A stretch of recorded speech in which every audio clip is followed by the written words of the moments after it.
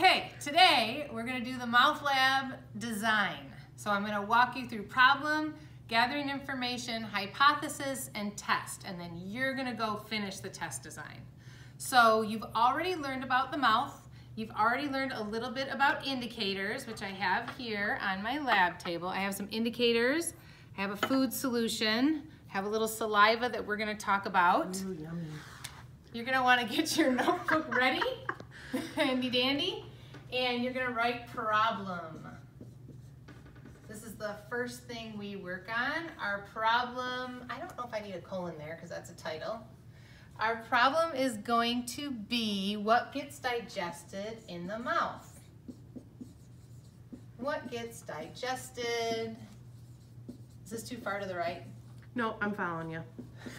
In the mouth. Follow the leader.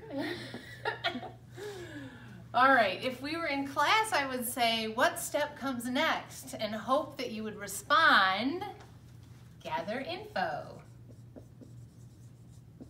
I think at this point you're getting there, right? Okay, so gathering information is what do we know that will help us understand what gets digested in the mouth? And we already know some things about food. So we've talked about food and what food actually, what we mean by the word food. Um, and we've talked about our foods being protein, um, starch, uh, glucose or sugar, and fat. And we maybe even talked about these two things being our carbs. I find that a lot more kids know what a carb is now that kids are into carbs or whatever when they're dieting. Um, and then we've also learned a little bit about indicators. Um, this one you might be able to tailor a little to your lab because if you're studying starch, you kind of care about iodine. If you're studying um, sugar, you care about sugar. So you're gonna maybe pick one of your indicators here and you're gonna add it, but you'll say what it tests for. So you would write in this spot like, iodine test for starch by changing from yellow to black. You'd write that out here, okay? So you'd put some stuff about indicators there. And then you might also put something about saliva. If we're gonna write a mouth lab, we might wanna know what saliva is made of.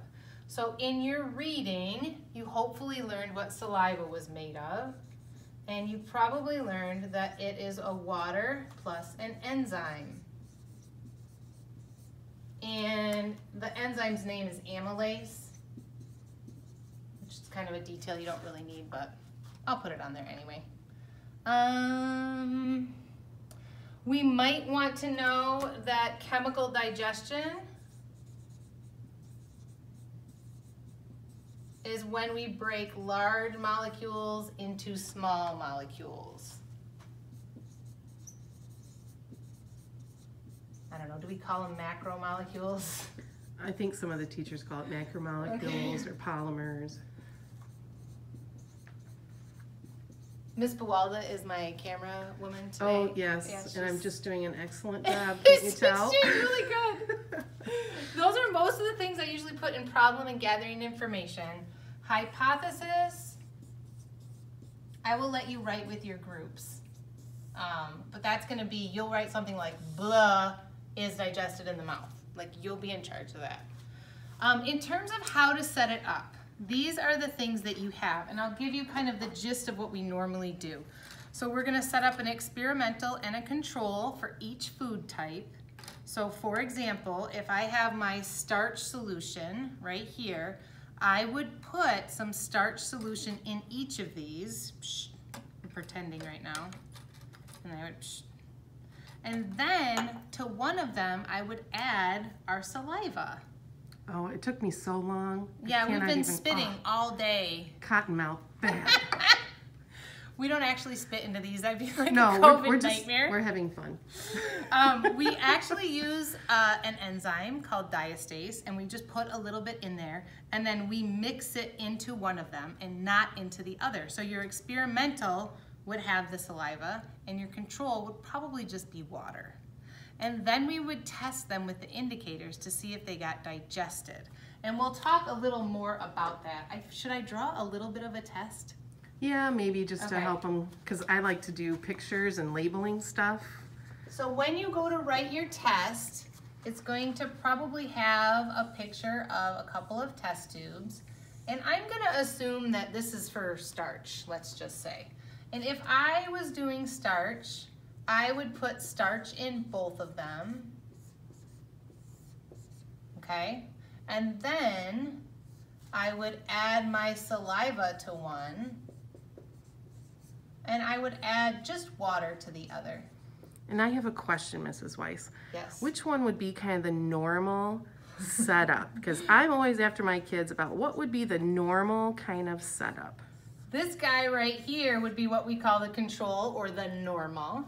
And this guy over here would be our experimental group because we added the independent variable, okay?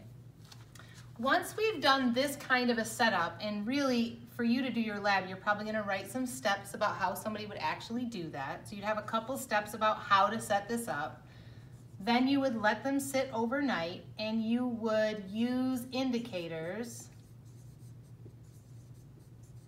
indicators to see if starch is present. So if I'm doing starch, I would say instead of use indicator, I'd say use iodine to see if food is present.